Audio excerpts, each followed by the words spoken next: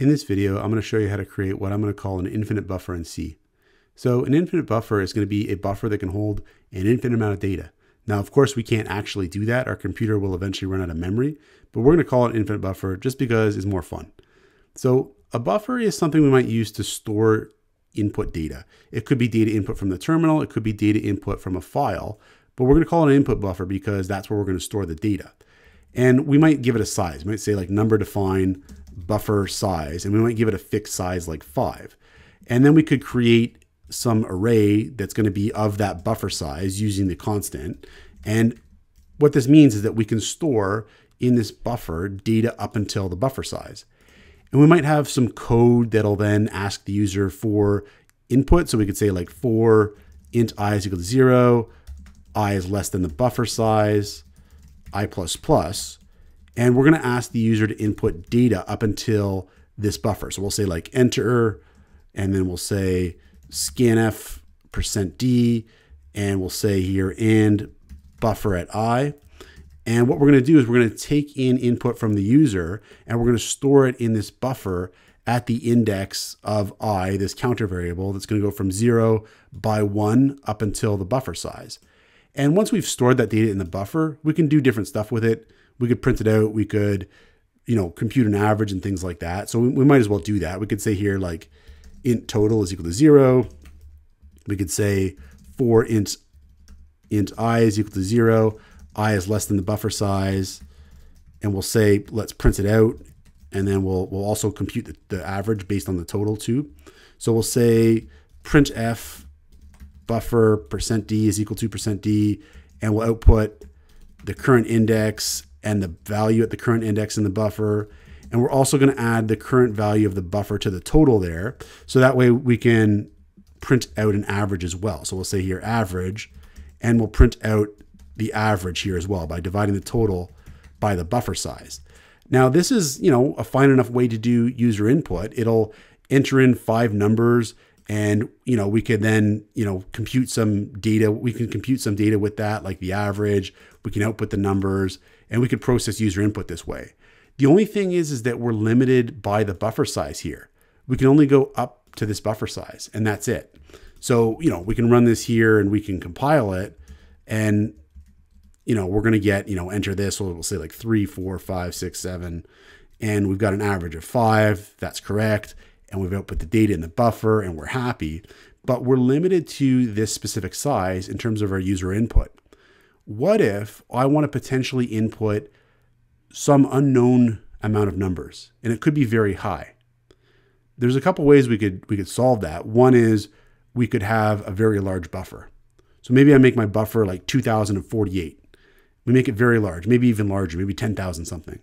And maybe we'll have an option here to quit after a certain point. So the user can say like enter negative one to quit and then the user quits and we can then store up to 2048 values. That would be one way of solving this problem. And that is the way that some people solve this problem. Is they just have a very large buffer and they just count on the fact that the input for the program will never be beyond that buffer size. I'm going to show you how to make what I'm going to call an infinite buffer. And that's going to be a buffer that's going to automatically expand its size as needed. So let's actually comment out this code. And then I'm going to go over my infinite buffer code here. So my infinite buffer, I'll say int star buffer here, and I'm going to give an initial size to the buffer. And the initial size is going to be very small. I'm going to say the initial size is just, is just going to be two. And what I'm going to do is I'm going to dynamically allocate space. So I'm going to say buffer is equal to malloc size of int times size. So I'm going to dynamically allocate space for two integers. So my buffer can initially hold two integers. Because I'm using malloc, I'm going to have to include stdlib.h because stdlib.h is where malloc is. I'm also going to include stdbool.h just that way I can use the value true as well.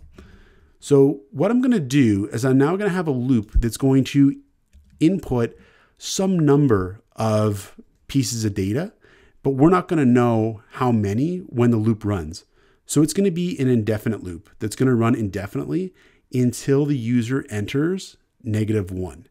So I'm going to say this. I'm going to say int input is going to store my input from the user.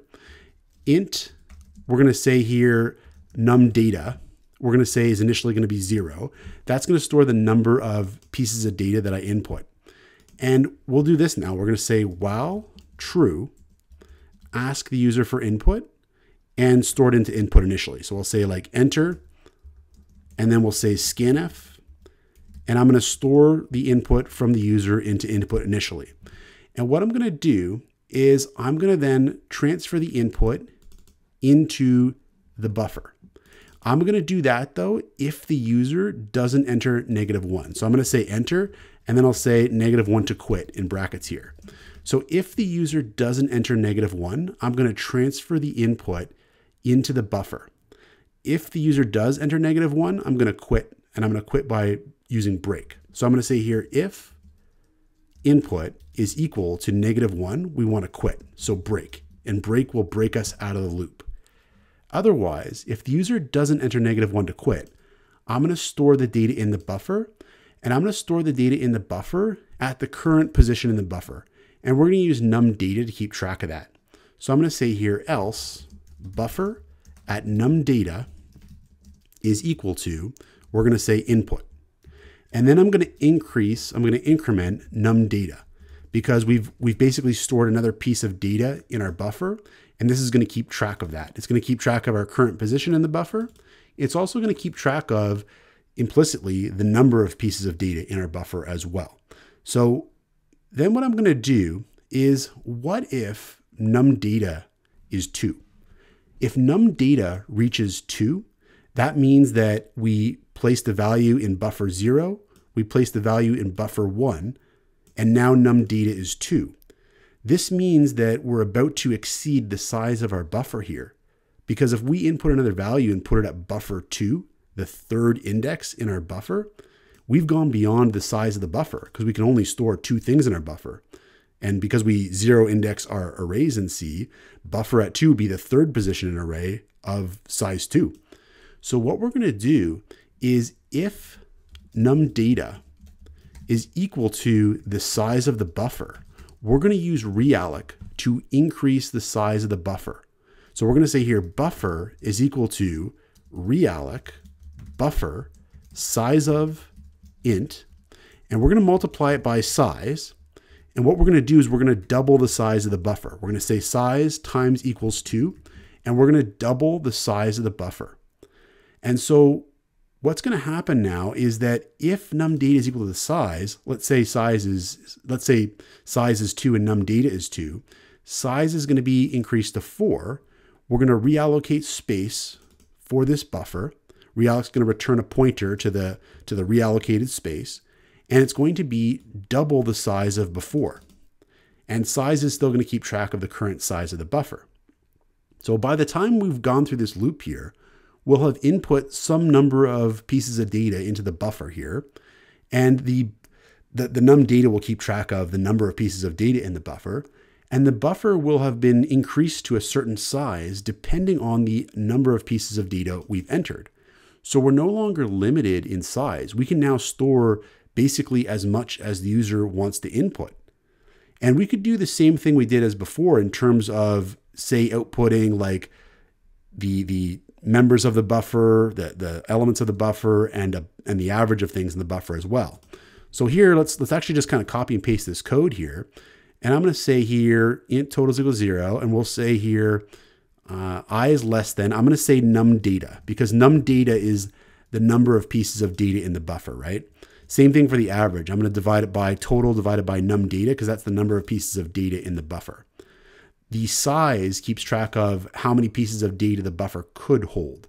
The, the, the, the size of the block of data that's been allocated for the buffer. That's what size is keeping track of. Num data is keeping track of how many pieces of data we've actually put into the buffer so far. So just for interest's sake, because it's going to be interesting, let's print out the number of pieces of data and we're going to print out the buffer size. So we'll say like num data and we'll say percent %d and we'll output num data. We'll also print out the buffer size. We'll say buffer size percent %d and we'll print out the current size. So let's see how this behaves now. Let's see how this behaves. Let's clear this. We'll do a recompile and we'll run it here. So it says enter negative one to quit. And we're going to say here like two, three, four, five, six, seven. Then I'll put a negative one. And I get here that the buffer contains those values. The average is four, and that seems right. And we've got here num data six, buffer size eight.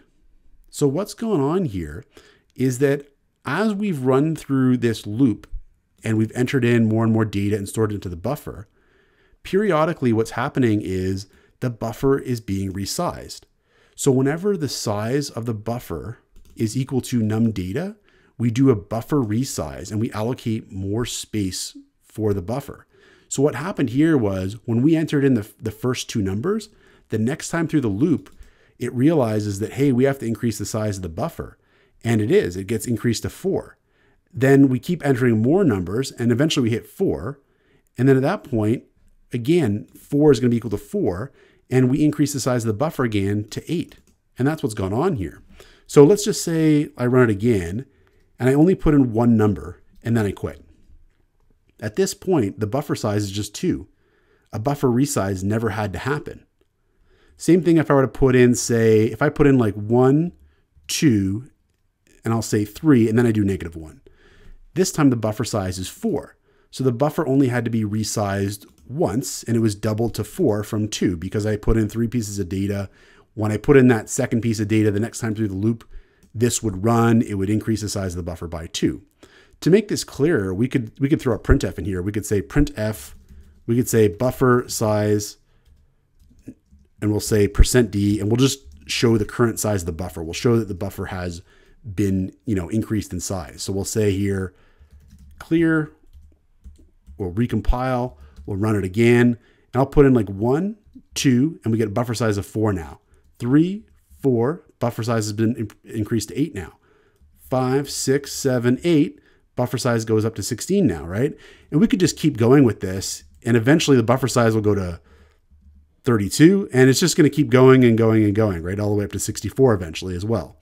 And so this is uh, kind of neat because we've got this this input buffer here now that we can have programmatically increase in size based on the amount of input we're getting.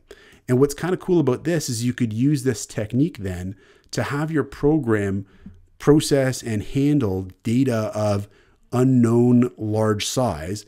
And you could increase the buffer in such a way that you're able to handle more and more data with Realloc to do that. So of course your computer will eventually run out of memory, and so it's not really an infinite buffer, but again, it's way more fun to call an infinite buffer, so that's what we're calling it. And this has been an example of an infinite buffer. Check out portfoliocourses.com, where we'll help you build a portfolio that will impress employers, including courses to help you develop C programming projects.